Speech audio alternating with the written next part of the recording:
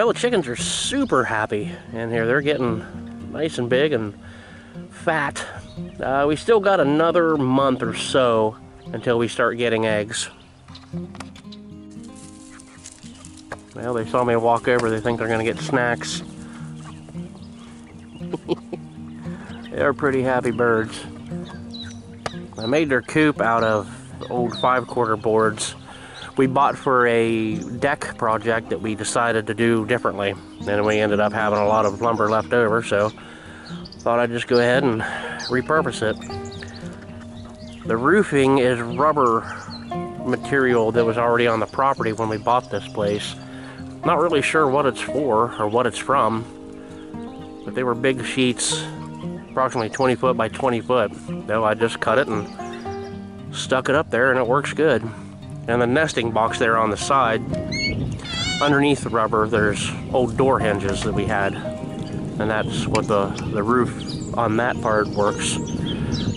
Uh, this little hatch on the side, I put that hardware cloth inside there as sort of a vent for them, and I can take it off to clean it out, and stick a, a rake or a hoe up in there and drag everything out into a wheelbarrow. But I didn't take into consideration that the boards on the back side of the door when it swings down is going to hit that. So that'll have to be a modification. There's a little bucket there down below. That's got the nipples, the chicken nipples underneath of it. Right there, if it'll focus. But those are what the chickens get their water from. I fill up the bucket and then they go peck on those. There's two of them on that bucket there. And that works pretty good. Uh, so far, they're okay.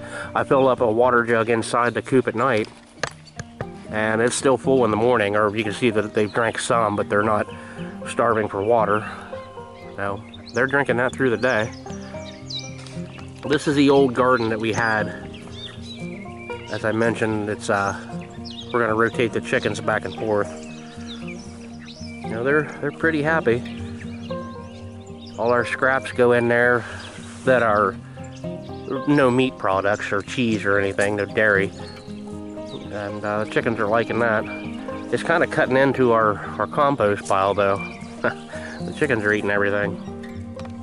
These little solar lights are pretty handy. They charge up through the day with that little solar panel on top. And when it gets a certain darkness, I guess, uh, they glow. Real low luminescence, I guess, or something. Big words. But when something walks in front of that little eyeball, they turn on pretty bright. And they stay on, ah, let's say for 30 seconds, I think. And then they kick back down to just a low glow. It was kind of nice to know that the batteries are charged because you could look out at any time of the night and see that both of these are on. So far, I've just been using this little metal trash can that we got from Tractor Supply to keep their feed in. It's working out pretty good so far although it is sitting right on the ground. It was sitting on the boards down there, but I don't know if the chickens are walking it around or maybe when my wife's getting into it, it's bumping around or something, but I don't want the bottom of that to rust out, which it eventually will. There's something will have to be done with that. Also, I do want to put a different watering system underneath, but that's that's a later day thing.